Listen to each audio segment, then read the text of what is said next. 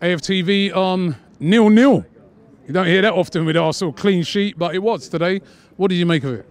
Yeah, I thought it weren't the best of games, but but when I saw the starting lineup, I was pleased because it was giving youngsters a chance.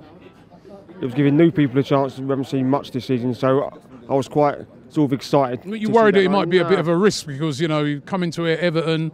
You know, Look- he's, he's, a lot of teams have come a cropper Look, play- in look. the past couple of weeks. Look, well, we played many away games and lost this season with other players in the team, so it's not really a risk when the players that have been playing instead of them haven't been doing that well. Hmm. So you're putting somebody else in.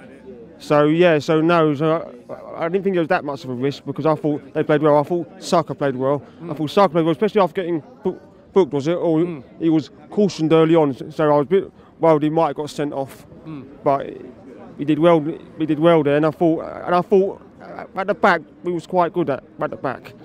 The only thing, the only thing which I didn't like about the game was the fans today because I thought it was a toxic atmosphere towards towards, towards all the fans, towards yourself, towards certain people saying certain things which I think was out of order, s- saying certain things, coming to you, coming to you, saying things, saying saying chants, and I, I know it's only a small, I know it's only a small people, but hmm. about 20 or 30, as you were saying, but when you've watched Arsenal the last few years, and when you've driven up to Swansea, who went down that year, and you you spent five hours going up to Swansea, and, and you lose one 0 and they go down that year, hmm. do you really expect Arsenal fans, when you do an interview, t- hmm. to, to come out and say we played well?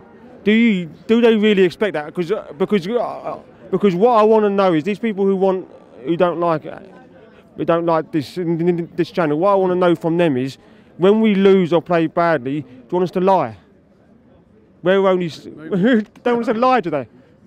We're only saying we're only saying what we've seen and and when I Listen, you continue to give your honest opinion. Let me let me just ask you this, right? Um, Arteta, he's in now. How do you feel? Are you happy about that? Do you think um, No, I'm certainly not happy about that.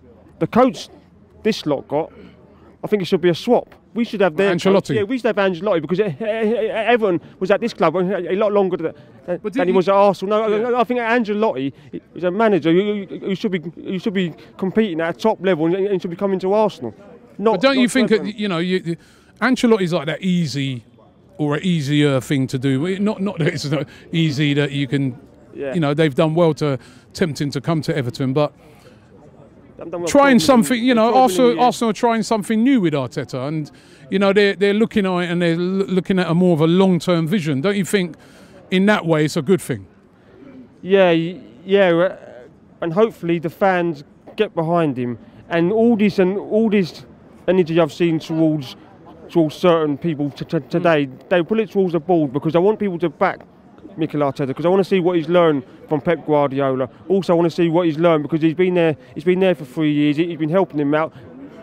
It's not only Pep Guardiola he's been learning from. He's had he, he- he's had Brian Kidd there, who's an experienced bloke, and he's had other he's had other people there. So I, I, I, I want to see what he's learned. But even though he's not our first choice, I want uh, because if you, you did a survey, there's very few people that would would pick him. But I want I want the Arsenal fans to get behind him and get behind get behind the team now, and, and let's have a big let's have a big push towards the end of the season because because there's players there that are playing for their uh, and future.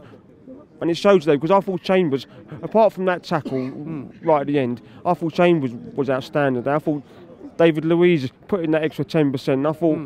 when I thought, and even even the player which I don't particularly like was Granit Xhaka. I thought he played okay hmm. today. Even though even though I don't want to see him in the starting line, but I thought he I thought he was he was outstanding today in, in midfield. But what I want the fans is I want the fans to get behind uh, uh, Mikel Arteta, and let's not get on his back, even if it's a year or, or two, because yeah, because it's not him, it's the board. Thank you very much.